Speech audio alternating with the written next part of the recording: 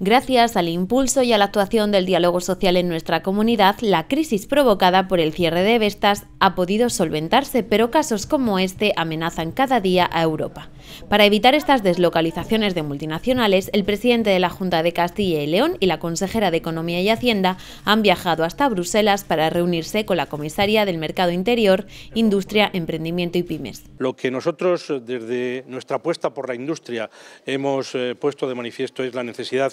de que eh, Europa, eh, con una visión de lo cercano, de lo,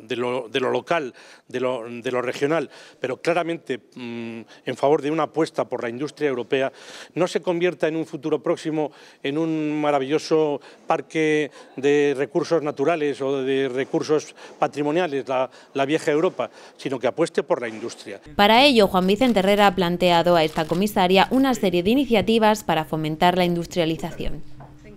hemos planteado eh, que eh, debían eh, de alguna manera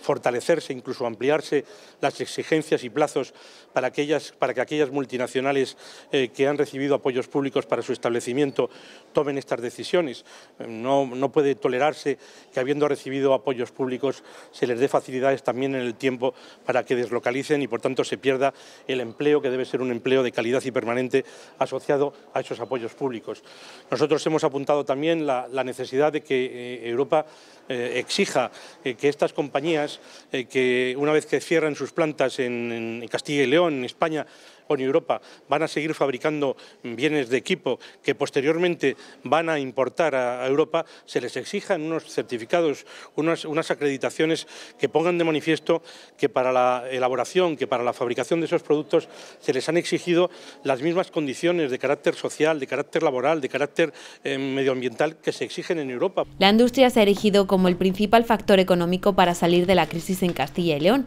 y por ello este gobierno continuará apostando por su futuro en nuestra comunidad.